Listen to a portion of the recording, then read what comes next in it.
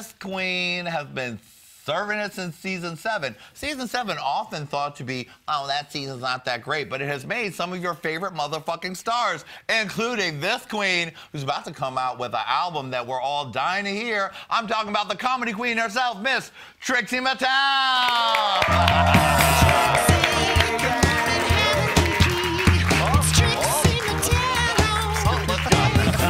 Oh my God, this I took five seasons, but honey, they have safety pin this couch, Yes, honey. honey. Remember like a season one where the drag queen would sit down and the flap would go like over their face. Honey, it was like- just a futon in the first season. It's beautiful, looks amazing. yes, darling. Look at you. Look at her. Look at her. Is it time I already? Is it time for that show already? Girl, I put on makeup so you don't need those. You're right. I can If you see can't it. see this face with and you need uh, they're you fully blind. I mean, you get all the details, though. Oh my goodness, Miss Trixie. Date, daytime passable. Totally. Pe- People, Realness see, people see me and they're like Laverne. I'm like, no. you know, Is that Shishi Shelly from work? Yeah. Oh no, no, sorry. I brought you a gift. you did. Because I always think your desk is like very curated. Oh. So I brought like a little, um, a little me. Oh my goodness. Fun, right? Hey Trixie, what's up? Yeah, Hey, girl. that's like my actual. shoe- that's my actual shoe size. Oh, wonderful. Yeah. This is gonna live right here uh, with Next to Katya's that- stolen Okay, did she pine take? Did she take a pine cone from your studio and Yes. re-gift it to you? Yeah, she did. Yeah, that sounds about right. That sounds about right. now, when I saw you today, you were giving me a title for this look that you thought all the comment section would say. It's down there. Joanne Realness boots the house down for your nerves work. oh, because did you know Lady. Gaga invented a guitar? Did you, I heard oh, she did. Oh, completely. And a pink hat. Well, back when she, because remember in telephone she invented uh, cans and leather jackets. Of course. Yeah. Mm-hmm. This country music diva look Yeah. is sitting, honey, in those shoes. Dolly, pardon me, honey. I mean, honey, you when we first had you here, it was like still during your season. So long ago, It yeah. was like when you had, the week you came back on the show. Yes. Things have just changed so much. I mean, your fame has just grown Yeah. in such a huge way. The fans for you and Katya are off the hook. well, yeah. Right? There's so much love for you guys. Thank you, five people. Um, they're all here. Katya's all- mom. Yeah. exactly. No, uh, we didn't want to mention that Katya's mom is here. Well, you know what I always appreciate about RuPaul? RuPaul always talks about like windows in the universe and like energies and ambition. And honestly, the real drag race is after drag race. Yeah. Anybody's fierce for the four months you're on cable television. You're right. But bitch, then what happens? Do you know what I Uh-huh. mean? Yeah. And so like losing however many times I lost, I d- it doesn't matter. It doesn't matter. It doesn't matter. It, drag race is a talent show. Mm-hmm. You can win and who cares? And you can go home first and t- like Tempest DuJour and everyone loves you. Like, Yeah. it doesn't matter. I mean, it's the with the toughest critics that talent show. Yeah, and like even with all like, even with like all stars and stuff, it's like I don't think of, you can't think of the drag industry and being a comedian or performer as how many times can I get on one television show? That's so short-sighted and crazy. Yeah.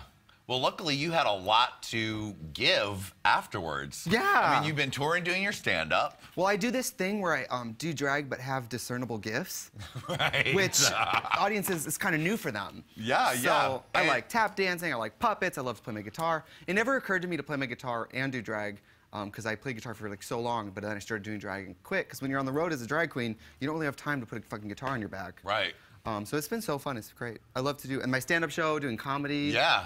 I love doing drag race and I love, but I um afterward it's been great because I feel like I've most of the fans I've gotten are after drag race. Yeah, and the great thing is that there's such a extremely intense love that now you kind of have the freedom to give them. They're going to be open to whatever you're giving them. Yeah, as long as you like give them something they like it, and you do it a few times, they'll like go on you with your journey. Yeah. I mean, th- even my face, they used to not go me with this journey. Right. And now everybody's doing. now everyone face. is on this journey. Honey, there's so See much white nine, under yeah. eyeliner going on, honey. Yeah, see you on season nine. Yeah. Yeah, Um, right. Season nine. All you think we're gonna be getting some Trixie Mattel looks? I'm probably well. I feel like Drag Race is always a um, bizarro, like uh, Coraline, other mother copycat of the season before. Right. So we're probably gonna see some like no blue, like we're gonna see some full Naomi Smalls is, Uh huh.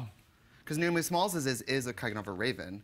Right. So Drag Race has become this snake that eats its own tail. Sure In a way, you know. Yes. And even the fans, the fans, it becomes self-referential because um, if you don't know drag outside of Drag Race, of course Kim Chi makes you think of my makeup because that's like all you know. But Right. you know, Bozo did it first, so. I mean Bianca. I mean Bianca. Sorry. Yeah, yeah.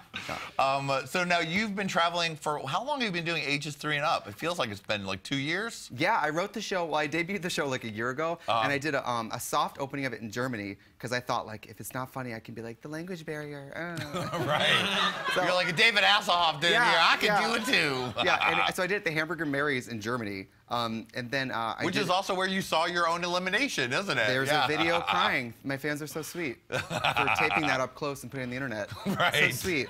Um, I've seen it a lot. And uh, so I did it there, and then I debuted it again, like the soft, another version of it in Vancouver to try it again. And then I did it this summer in Provincetown 55 times. Girl, you were in Provincetown. Five days a week, two and Honey. a half months. And you can't leave because you are signed into it. Yeah. No, but it was great. But it, honestly, uh, Provincetown, if you guys don't know, it's a, a little uh, seaside village in uh, Cape Cod. Right. Where all the gay people, rich white gays, go to like drink rum punch and fall down. So, Mm-hmm. Yep. but they also see a lot of drag shows, and that's a, lot. great audience to perform for because those are audience that have seen Bunny, Varla. Everybody. Richfield, and if unless it's funny, they're not gonna laugh. So Yeah. that audience really like. They're not gonna laugh unless it's funny. Did you? Uh, you're probably famous enough to avoid the daytime handing out of Oh, the bitch, you flyers. think so? Oh, bitch. No. bitch, down the block, it's Varla Jean Merman and Bianca Del Rio barking. Right. Oh shit. You know, when I see Bianca Del Rio barking, I'm like, oh, so no one's coming to my show. Because barking, if you don't know, is when you stand in the street and hand out your flyers. And that's what they do in Provincetown to get the audience. You got to be out there working it. And you know what's fascinating too? People would come up to me. Oh, hi, Lady Red. We didn't even say hi to Lady Red. Oh my God, we haven't said I've been so distracted that let's talk to Lady Red for a I heard the cookie second. crunching. I was like- Lady Red, your sister in makeup is here. Hey, girl. How are you doing over there, darling? I've been so overwhelmed with all of the beauty and glamour coming in. I, I forgot was to check in with distracted by all that bitch. stuff. I love it. All that stuff, She's like like, is that Trixie everything. Mattel or a Pez dispenser? Who cares? um, in P-Town, though, you do barking, you have to hand out your flyer, whatever. And people would do this because people think I'm too famous to be barking my own show. They Uh-huh. come up to me and they go, you're not her. Oh. And I go, okay, I'm not her. Great, you're not you. And I'm in the street handing out Trixie flyers because I'm not her. Great, I love that. Well, Perfect. that would be genius though, because your makeup is such Oh, my God. that you could have a couple Trixie impersonators. That well, that's true. Sometimes there was a girl at DragCon two years ago. uh, It was a guy, and he was in Trixie drag, and it was so convincing. I was like, "Can you sit on my booth while I go to the bathroom?" And he did, and he took pictures of people. I, I, what's his name? Uh, Andy. Uh, uh, you know, bowl cut artist. I don't know. The guy with the bowl cut who did the Marilyn. Yes. Oh, Andy Warhol. I Yes, thought you were he used to do that, I too. thought you were like Andy Warhol was that drag con? Yeah.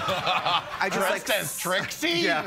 but he used to send people out in a bowl cut wig and glasses to do his events, and I people would be like, "That's him." Honey, later on when you get tired of the tour, Are you like- available? yeah, I'll do it. And just flap, flap, flap, flap. I need to work. Come on, I'm gonna get a beard, and I'm gonna be you. Great, that's fine.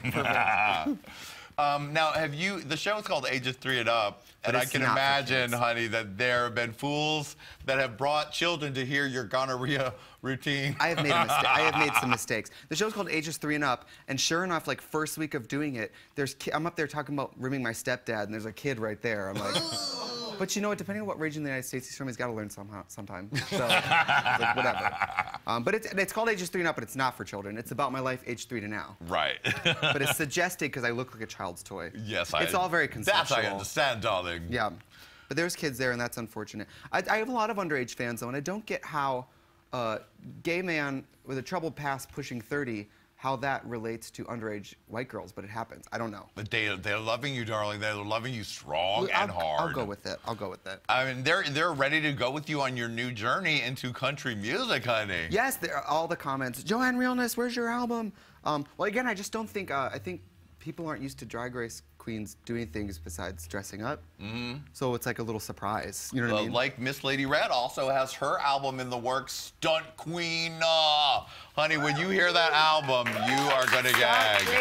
Stunt Queen. Uh, Queen. Lady Red's giving you bitch tracks. Lady Red is giving you soul, drama, all the rest. Oh yes, Oh, live in the sultry. glamour, bitch. With that big red lettuce fan. Yeah. Yes. Um, so, but you are doing a, so a country album, and you're going to release that as Brian? Yeah, I, record, well, I recorded it about three weeks ago. I don't have a release date Just yet, three 'cause it's- weeks ago? Yeah, I just finished it. I recorded it in New York because I used all Broadway musicians. Wow. So I had like a drummer from Hamilton. Honey. I had somebody who's in School of Rock musical playing on it, and uh, we did it all. And um, we're You're living it your baby now. dream. Yeah. that was what you really like MySpace days. You wanted Oh my to, be- God. to be a singer. I will slit your throat and right like, Come You on, don't ever, don't ever, don't ever make something on the internet that you can't remember the password to to delete.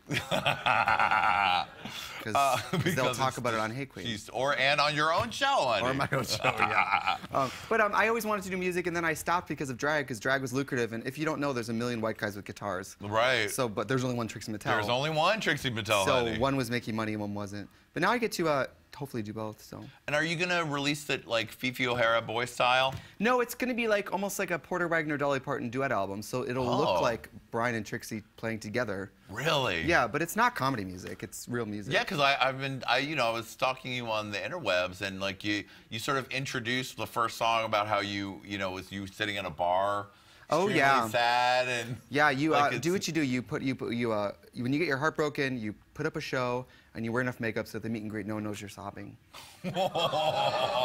and then you write an album. So yeah, I had like my little heart. But I played for so long, and then I, at P Town, I had an apartment that had no electricity, no TV, no fridge, no air conditioning. So that's when you were. So all I had it? was a guitar and Wow. a terribly horrible broken heart. So I just wrote the music all day and Honey. did the show all night. So was, And then you got to live your dream with all those incredibly musicians. And were you was great. arranging it, or did you have someone come in to help arrange? No, I the arranged it. I had a gentleman named Brandon come in, and he worked on the Ring of Fire musical, the Johnny Cash musical. Uh-huh. And he's from Nashville, and he's a theater homo, so it was like Honey. perfect.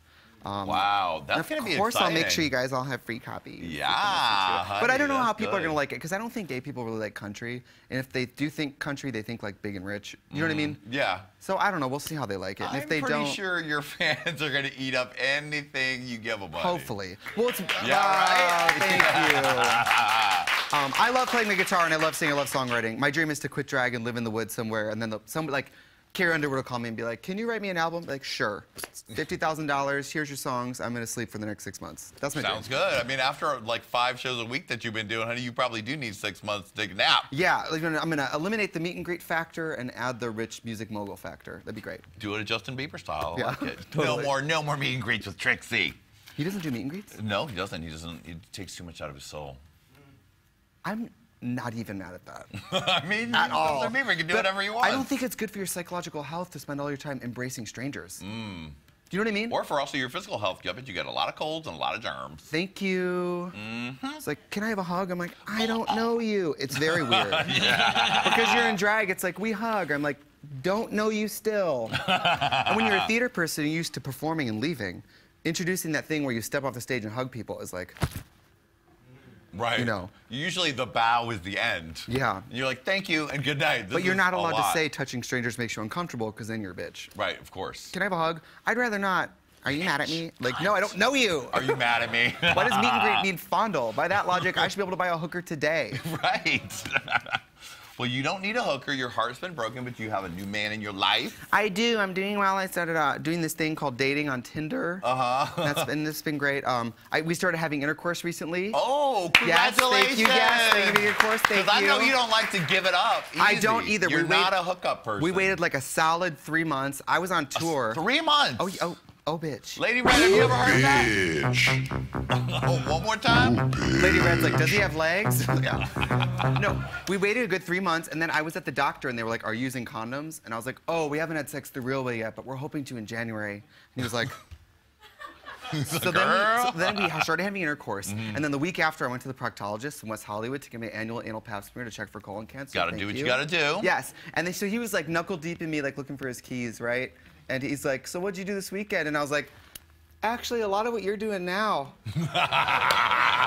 But he was a WeHo doctor, so I'm sure he's like seen it all. He was like, girl, I could go further than that. And he's probably pulled people out of people. Right. Yeah. So whatever. He's like, there are three circuit queens having a party in your asshole. yeah. But with, a- as you'll learn on my album, I'm very country and old-fashioned, so I can't just fuck strangers. I like it. Well, I mean, I enjoyed your Instagram story. You guys are in the Santa Monica Pier, Oh. holding hands in the Ferris wheel. After all your heartbreak honey, I'm glad it's all turned out so Well, I'm gonna do what every star does. I'm gonna uh, publicize my breakups and try to capitalize. Do it. Yeah. Get it. Get it done, darling. Yes. Oh, Trixie, you look gorgeous. I'm so Thank glad you. are here. We're gonna have Katya out here where the two superstars meet when we come back. Yeah!